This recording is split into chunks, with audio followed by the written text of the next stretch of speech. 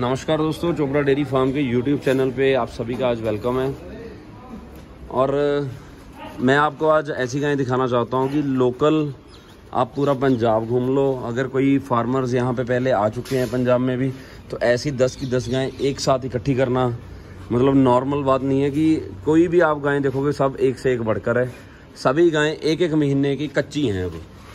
और उनकी सारी डिटेल वाइज वीडियो आपको शो करने जा रहे हैं। वीडियो पूरी देखिए और पास लगे बेल आइकन को दबाइए कि आने वाली हर वीडियो की आपको नोटिफिकेशन मिलती रहे।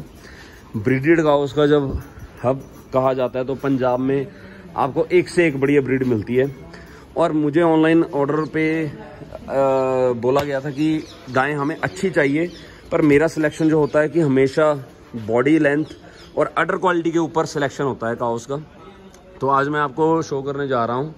कि जो जो मैंने सिलेक्शन जो मैं करता हूँ, किस बेसिस पे सिलेक्शन करता हूँ? तो ये देखिए, ये जो फेस क्वालिटी होगी पहले तो। फेस क्वालिटी के करेक्टर्स ऐसे होने चाहिए कि बिल्कुल सीधा फेस होना चाहिए, कोई आगे से मोटा या हैवी फेस नहीं होना चाहिए। जो भी काउज आप इस व्यू में देख रहे होंगे, वो उन सब की आपको फेस क्वालिटी पता चल जाएगी कि फेस कैसा है उनका। क्योंकि तो बिल्कुल साफ़ सुथरा फेस है, लंबा, बिल्कुल सीधा और नेक पतली। ऊपर से जो करेक्टर होने चाहिए कि पीठ की, रीढ़ की हड्डी सीधी होनी चाहिए। तो जितनी मैं आपको काउस ये देख लीजिए, ये मेरे ख्याल से आपको व्यू सारा मिल रहा होगा जो मेरे किसान भाई फार्मर देख रहे हैं कि उनको मिसगाइड नहीं करूँगा। बिल्कुल जो प्रॉपर आप देख लीजिए कि कैसी इनकी बैक लेंथ है पूरी।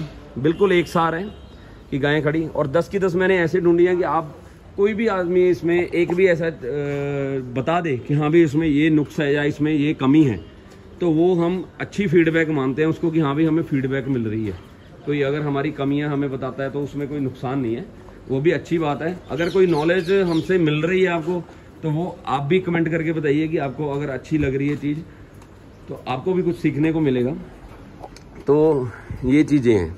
ये देखिए, जो मेरी प्रेफरेंस रहती है कि ये चीज़ों के ऊपर फोकस किया जाए, जो बैक लेंथ है पशु की काओ की, वो बैक स्ट्रॉन्ग होनी चाहिए कि काविंग के टाइम पे डिलीवरी जैसे होनी है एक महीने बाद, बीस दिन बाद तो ये ये वीक नहीं होनी चाहिए गाय। इसमें बीसीएस अच्छा होना चाहिए बॉडी स्कोर अच्छा होना चाहिए। बॉडी स्कोर अच्छा होगा तभी गाय अच्छा दूध दे पाएगी, अगर बॉडी स्कोर कमज़ोर होगा तो गाय दुबली पतली हो जाएगी।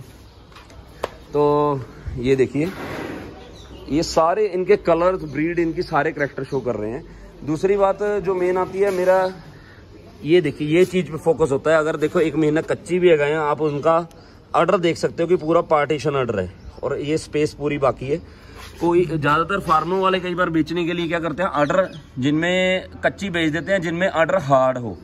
उनमें आप मान सकते हो कि मिस्टाइटस की प्रॉब्लम पहले कहीं रही होगी, हो सकता है। और मेन जब कच्ची गाय आपने लेनी है तो ये देखिए, ये ऐसा ऑर्डर बिल्कुल सॉफ्ट होना चाहिए।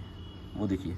आपको सामने दिख रहा होगा। प्लस अडर में चारों थन बिल्कुल बराबरी पे लगे होने चाहिए कि मतलब गैप होना चाहिए थन में। ये देखिए, अभी कच्ची है तो गैप कम लग रहा है, जब भरेगी तो गैप ज़्यादा बन जाएगा।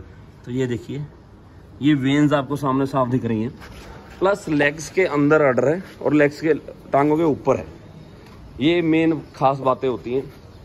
और लेग्स के ऊपर सबसे ज़्यादा ध्यान देना पड़ता है। जो लोग एनिमल ज़्यादा दूर तक लंबे ट्रांसपोर्ट करवाते हैं तो ये देखिए जो लेग्स है इनकी, वो स्लाइटली बेंडेड होनी चाहिए। ज़्यादा बेंड आ जाए तो एनिमल को वीकनेस उतनी कमज़ोरी आ जाएगी। देखिए लेग्स कितनी अच्छी हैं। बिल्कुल, ये लेग्स देखिए, बिल्कुल कितनी स्ट्रेट है, कितनी अच्छी हैं। तो यंग एनिमल की पहचान उनकी लेग्स से, उनकी बॉडी वेट से और उसके अडर से हो जाती है। ये महीना कच्ची है तो इसका अडर आप देख लीजिए। तो ये चीज़ें हैं जो मेन आपको करेक्टर्स देखने होते हैं। और ये ब्रिडेड पशु की पहचान है। क्रॉस ब्रिड गायें बहुत आपने देखी होंगी। इनके ऊपर पूरी वीडियो हमारी आ रही है। एक दो दिन में पूरी वीडियो आप देखिए, जिन्होंने परचेज की हैं, वो भी यहाँ पे आ रहे हैं। महाराष्ट्र से खुद हमने बुलाया उनको कि यहाँ आइए और अपना सिलेक्शन एक बार देखिए कि हमसे कहीं एनिमल लेने में कोई गलती तो नहीं हुई, कोई चूक तो नहीं हुई, कोई थन वगैरह यहाँ चेक करके लेके जाइए। तो सारी चीज़ें उनको चेक करवाएँगे और जब वो यहाँ आएँगे, उनकी पूरी वीडियो कंप्लीट वीडियो बनाएँगे, गाय किस रेट में ली, कैसी ली तो ये देख लीजिए। ये ब्रीड का सिलेक्शन मैंने किया है। और इसको बोलते हैं जो असली करेक्टरिस्टिक्स है जो अच्छी ब्रीड के। क्योंकि आजकल यूट्यूबर्स नए नए आ गए हैं तो सस्ता रेट बता के आपको फंसा लेंगे फिर आपके जो सस्त, जो मतलब कमाई बंदे ने की होती है वो हल्की गाय में जल्दी कमाई हो जाती है पर ऐसी अच्छी गायों में चार से पाँच हज़ार रुपये पर एनिमल भी बहुत मुश्किल कमाई होती है क्योंकि फार्मर पहले बेचते ही नहीं है ऐसी गायें। हमें ढूंढनी पड़ती है मेहनत करनी पड़ती है उसके बाद अगर कोई मतलब सेल के लिए रेडी हो तब हम खरीदते हैं। और, पर कोई कमज़ोर गाय नहीं है, कोई इनमें वीक गाय नहीं है, कोई क्रॉस ब्रिडेड गाय नहीं है।